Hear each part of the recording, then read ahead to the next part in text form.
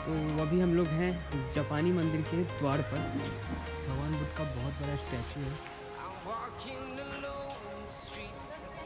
अच्छा एक चीज़ यहाँ पे बहुत कॉमन है कि जो भी मतलब बुद्ध भगवान से रिलेटेड मंदिर वगैरह है वहाँ पे जो शेर का स्टैचू है डिफरेंट डिफरेंट कलर में मौजूद रहता है। इसका क्या मतलब वैशाली में भी है गया में भी है। ये बेनू वन के अंदर जाता है। और जापानी में बेनू वन को इस तरह से लिखा जाता है। निपुंजान में हो जी जापानी में इस तरह से लिखा जाता है। अब हम लोग को जापानीज आ गया मंदिर के एक्सटीरियर को एक्सप्लेन करो जरा। तो मुझे लगा था कि यहाँ पे वो होता है ना जैसे जापान में जो घर बनाते हैं हाँ। एक इस टाइप का इस टाइप का रहता है तो क्या बोलते हैं पता नहीं। लकड़ी टाइप का लकड़ी का जो बना था बहुत बड़ा बड़ा समझ लो वैसा कुछ होगा तो देखने में काफ़ी मज़ा आता है। कृपया जूता चप्पल यहाँ उतार दें उसकी सुरक्षा स्वयं करें। अच्छा यहाँ पे जब हम लोग जूता चप्पल यहाँ जब उतार देंगे तो उसकी सुरक्षा हम लोग स्वयं कैसे करेंगे? Japan Tokyo. जापान।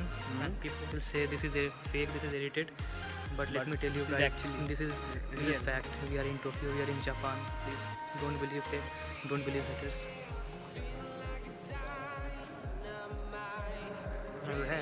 Japan.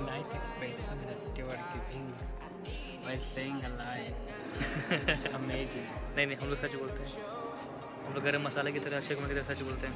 तो बात यह है कि हम लोग जापानी टेंपल में अभी, और हमारे पीछे का नज़ारा आप देख सकते हैं।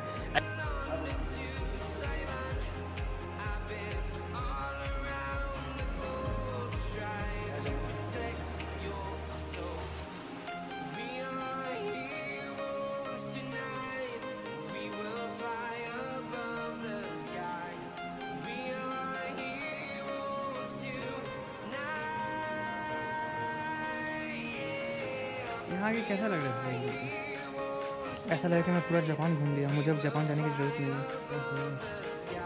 सही है भाई सस्ता मतलब प्लान है मतलब ये ये टूरिज़्म का टूरिज़्म के क्षेत्र में एक मतलब बहुत अविश्वसनीय खोज है। जब भी मेरा कोई फ्रेंड बोला कि उसे जापान जाने का मन है मैं उसको बोलूँगा यहाँ पे आने के लिए राजगीर में। और बोला कि उसको पूरा जापान का वाइब मिल जाएगा। उसको तो जापान जाने का कोई ज़रूरत नहीं है एक्चुअली में एक म्यूज़ियम है। और इसमें डिफरेंट डिफरेंट फ़ोटोज़ हैं जो कि अच्छा ये वाला याद है? ये किसी मूवी में देखा था हमने ना? ये वाला, बजाने वाला। एक चाइनीज़ मूवी सॉरी चाइनीज़ बोले जापानीज मूवी था, जिसमें वो कुम्फू वाला। कुम्फू कर भी उनको मूवी का नाम था। इसमें ये वाला ढोलक टाइप का मुझे नहीं पता भाई, किसी ढोलक लगा हुआ। बोला कि क्या तो हम लोग यहाँ से निकल रहे हैं नेक्स्ट लोकेशन के लिए। और लेकिन नेक्स्ट लोकेशन क्या होगा हम लोग को? वहाँ पे कुश्ती होने वाली है मेरे और सचिन के बीच में। देखते हैं कौन जीतता है। वैसे लग रहा है मैं ही जीतूँगा। क्या लगता है?